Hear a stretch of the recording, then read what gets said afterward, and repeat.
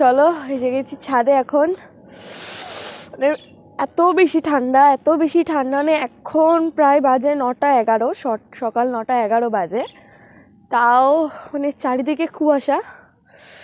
একবার তোমাদেরকে দেখাই আমি যে কতটা কুয়াশা।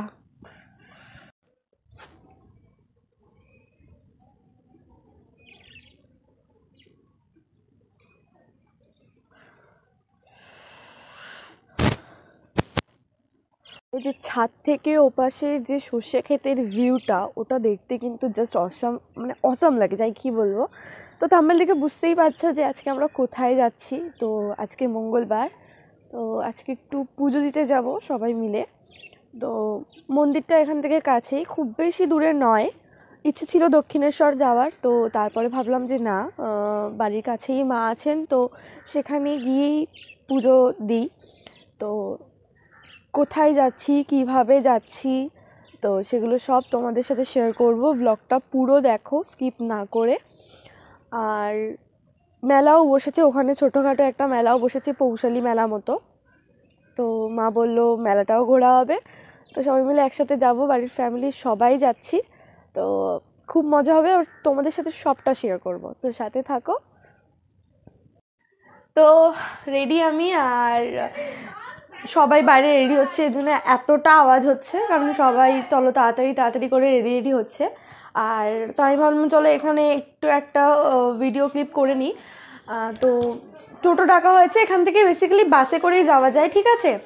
তো বাসে করে এখান থেকে কয়েকটা বাস ছাড়ে এইটটি সেভেন এইটটি এইট তো পুচকি রেডি হয়ে গেছে। তো বাবা বলল যেহেতু মা যাবে, বাবা যাবে, ভাই যাবে, সবাই যাবে। তো একটু টোটো ঠিক করা হলো। হ্যাঁ বাসের তুলনায় হয়তো একটু বেশি সময় লাগবে, এবার কতক্ষণ লাগছে যেতে টোটোতে করে? তো সেটা বলব, বাসে গেলে মিনিমাম হয়তো ফর্টি ফাইভ মিনিটস লাগে মানে পঁয়তাল্লিশ মিনিটের মতো লাগবে। তো ওরা পৌঁছে যাবে সেখানে। তো চলো, তোমাদেরকে সব বলব কতক্ষণ কতক্ষণ লাগছে যেতে। সব কিছু শেয়ার করব। তো ব্লগটা পুরোটা দেখো স্কিপ না করে ওকে চলো, টাটা। টাটা করে দে। সবাই রেডি চলে যাচ্ছি। চলো, টাটা। সব কিছু দেখাবো তোমাদেরকে, তো সঙ্গে থাকো। আর এখানে আমি ওদেরকে বলছিলাম, কি রে, তোরা কি দেখছিস? হাই করে দিয়ে ক্যামেরার দিকে তাকিয়ে।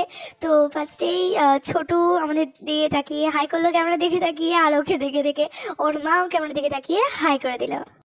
তো মেলায় ঢুকতেই একদম এটা হচ্ছে একদম মেলার গেট মেন রোডের পাশেই পড়ে। তো ঢুকতে না ঢুকতেই দেখো চারিপাশে শুধু খাবারের দোকান। মেলা এখান থেকেই বসতে শুরু করে দিয়েছে জামা কাপড়ের দোকানও এখানে রয়েছে। আর এদিকে রয়েছে ব্যাগ মানে এখান থেকেই মনে হয় ফুলের ডালার দোকান টোকান মানে সব শুরু একদম মেলা মেলা একটা ভাইবস তুমি পাবে মেলা মানে পথ- মানে মন্দিরে ঢোকার যে রাস্তাটা, সেই রাস্তার আশেপাশে মানে দোকান পুরো ভরে গেছে। তো বিভিন্ন ধরনের খাবারের দোকান ছিল মেলায় যে সমস্ত মানে মেলায় সব থেকে কমন যেটা, যে জিলেপি আর বাদামের দোকান তো দুপাশে একেবারে সারি সারি ছিল। মানে ঢুকতেই একটা বেশ মনোরম পরিবেশ। আর এখানে সবাই পুজো দিয়ে বেরোচ্ছিল, যারা আমাদের আগে গেছে। তো দুটোই মন্দির বন্ধ হয়ে যাচ্ছে। বিশেষ করে মন্দির বারোটায় বন্ধ হয়, কিন্তু এই পুজোর কারণে কিন্তু মন্দির মানে এই যে পৌষালি যে, এবার পৌষ মাসে এই যে একটা কালী পুজো হয়, এখানে যে মেলা হয়, এর জন্য কিন্তু টাইমটা বাড়িয়ে দুটো করা হয়েছে। দুটো অবধি থাকে, তো আমরা ওখানে পৌঁছে গেছিলাম, একটার মধ্যে পৌঁছে গেছিলাম। তো একটার মধ্যে পৌঁছে যাওয়ার পর আমাদের যেতে প্রায় লেগেছে। আমি ভেবেছিলাম হয়তো অনেক বেশি সময় লাগবে, কিন্তু না। আমি টোটোতে করে গেছি আর কুড়ি মিনিটের মধ্যে কিন্তু আমি পৌঁছে গেছি। তো চলো এই যে চলে এসেছি মন্দিরের এখানে। তো মন্দিরের গেট এখন বন্ধ হচ্ছে মানে এক, কয়েকজন লোককে ঢুকিয়ে নিয়েছে। আমরা পরের ধাপে ঢুকবো। তো এবার আমরা যাচ্ছি, একটু ফুলের ডালা টালা কিনতে হবে এর জন্য। তো চলো যাই।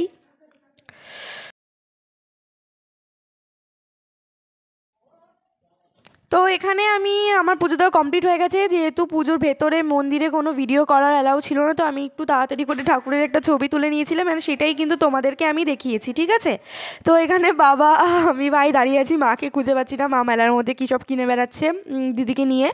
তো আমি আর বাবা কথা বলছি, আর বাবাকে বলছি, বাবা হাই করো। তো বাবা একটু ক্যামেরার দিকে তাকিয়ে এদিকে এদিক করছিল। আর এখানে বাচ্চাদের অনেক রকম জিনিস কিন্তু ছিল। আর এখানে ছিল মানে মেলায় যে সমস্ত দিন থেকে সব এখানে ছিল আর এটা অনেক বড় মেলা ছিল, ঠিক আছে? তো বাবার ভাই এখানে কথা বলছিল, তো চলো এবার পেয়ে গেছি মাদের, আর এই যে বুড়ি বুড়ি চশমা পরে নিয়েছে। আর এখানে মা কয়েকটা কাপ কিনেছিল, তো তারপরে চলে গেছিলাম আমরা ঘুগনির দোকানে। মানে একটা ঘুগনির দোকানে ঢুকে মার ঘুগনি এত পছন্দ হয়ে গেছিল যে ওখানেই বসে চার বাটি ঘুগনি খেয়ে নিয়েছে, ভাবতে পারছ?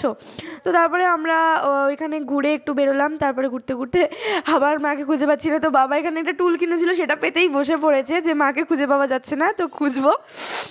তো যাই হোক আহ, খানিকক্ষণ দাঁড়িয়ে থেকে মায়ের জন্য অপেক্ষা করছিলাম যে মা কখন আসবে আর এখানে আমাদের ছোটো বুড়ি হাই করে দিচ্ছে আর কিসিও দিয়ে দিচ্ছে তোমাদেরকে। তো তারপরে মা আসার পর আমরা চলে এসেছিলাম এবং তাড়াতাড়ি করে টোটোতে গিয়ে বসে পড়েছিলাম ওরা আসছিল খাবার কিনে।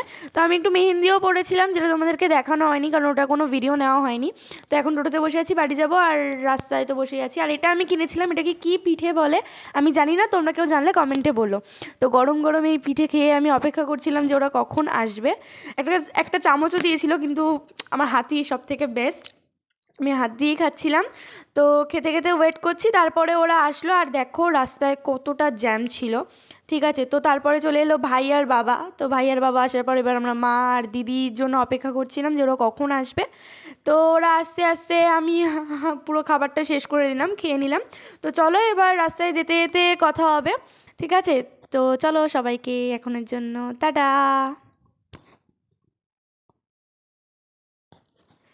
তো এখানে রাস্তায় যাচ্ছিলাম আর এত ফাঁকা ছিল মানে ওই সময়টা বিকেল বাজে চারটে মতো। ঠান্ডা লাগছিল তো মা বলল, চলো একটা ধাবায় দিয়ে আমরা চা খাই। তো আমরা একটা ধাবাতে দাঁড়ালাম এবং ধাবাটা অনেক সুন্দর করে সাজানো ছিল বাইরে থেকেও এবং ভেতর থেকেও। তো আমরা চা খেলাম ওখান থেকে সবাই মিলে এবং কাগজের চা ছিল দশ টাকা আর ভাড়ের চা ছিল পনেরো টাকা। তো মা তো বলছিল যে, ঠিক আছে, ভাড়ের জন্য নিতে হবে না। কিন্তু বাবা তো নিয়ে নিয়েছিল। তো ভাবতে পারছ, এইটুকুনি চা। তাও পনেরো টাকা। ঠিক আছে, কোনো ব্যাপার না।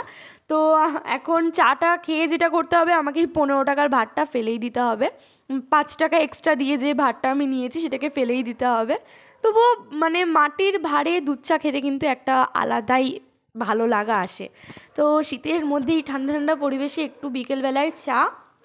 দেন আমরা চাটা খেয়ে মাও খাচ্ছিল। মা বলছে, তুই কী করছিস? তোমাকে আমি দেখালাম। তো মা কিছু একটা বলছিল। যাই হোক, আমার মনে নেই মা কী বলছিল তখন। তো তারপরে আমরা ওখান থেকে চাটা খেয়ে বেরিয়ে পড়লাম। তাড়াতাড়ি বেরিয়ে গিয়েছিলাম কারণ বাড়িতে আসার তারা ছিল একটু। তো চলো, এখান থেকে এখন বাড়ি যাব আর এই চায়ের কাপটা কিন্তু এখন আমি, আমাকে ফেলে দিতে হবে, তো কিছু করার নেই। একটা লোক আমার দিকে হা করে তাকিয়েছিল, তো আমিও তার দিকে তাকিয়েছিলাম। লোকটাও ভ্যাবাচাকা খেয়ে আমার থেকে চোখ সরিয়ে নিয়েছিল। যাই হোক, তো মা এখানে তো খুব আরাম করে একদম চা খাচ্ছে আর ক্যামেরার দিকে তাকিয়ে বলছে, আর আমাকে বলছে, তুই কী করছিস? দেখা গাইস অবশেষে বাড়ি চলে এসেছি আর মেহেন্দিটা কেমন একটা করেছে? যাই হোক অবশেষে বাড়ি চলে এসেছি, সবাই এসে গেছে এখন। আমরা একটু যাব পাশে সর্ষে খেতে, একটা সর্ষে ক্ষেত। তো সেখান থেকে এসে ব্লগটাকে এন্ড করব। তো চলো, টাটা! তিনজনই শস্য খেতে এসেছিলাম, আমি, দিদি আর দিদির মেয়ে। তো দেখো, একদম শস্যের মধ্যে ভূত কথাটা আছে না, তো সেরকমই লাগছে দুটোকে। এবার ফটো তুলবে বলে একদম বন্ধুরা, তো আমি তোমাদেরকে বলেছিলাম যে সর্ষে খেতে যাচ্ছি এবং কিছু ফটো টটো তুলতে আমরা গিয়েছিলাম।